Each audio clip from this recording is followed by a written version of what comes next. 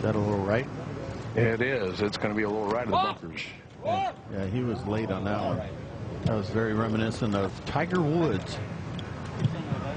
Now, looks like uh, this lady's making an effort to grab the ball. Uh, careful.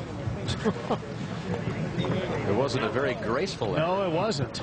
Uh, if he doesn't have any tree trouble, he actually has a great angle from over there on the right. Yeah, that one uh, always right. Never, never making an effort to come back left. Off the cart path a couple of times. So Els positioned nicely in the fairway. Schwartzel in the right rough. Els with the lead. We'll be back.